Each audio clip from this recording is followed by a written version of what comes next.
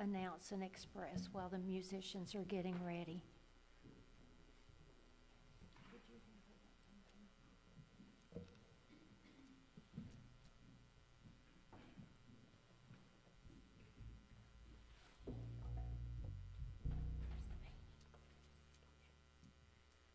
For those of you who don't know my name, my name is Tina Amador.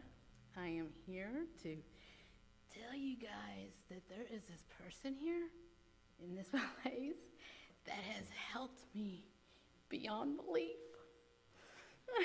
Sorry. His name is Frank Bieber. He has helped me beyond capacity. Those of y'all who knew, my only transportation was a motorcycle. well, it's 15 buckets in his garage, in his shed. It's not working. But the greatest thing about this all is that his son in law gave me a car.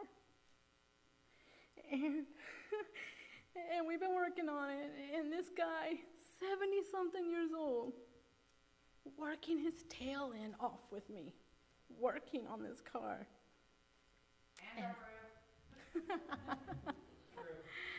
oh my God, I can't tell you how grateful I am.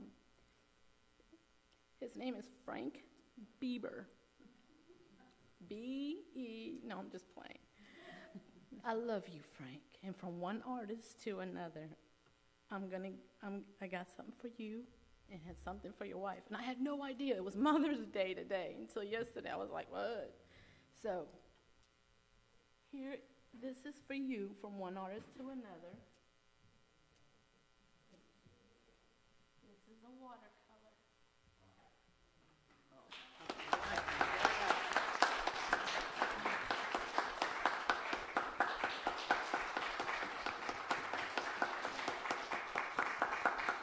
I've never, I've never seen anybody work so hard. 70 something years old, and he is on his back, kicking and pulling on the lower control arm and ball joint and yelling, Is it in? Is it in? And I'm just like, I don't know. and this is for your wife. It is actually a real double yolk goose egg made into a jewelry box. But after the podium fell, I don't, I don't know. You'll have to check it out. I thank you I love you. because you have blessed me by your presence. It has allowed me to fulfill my duty as a human being to help a human being. Thank you. Thank you.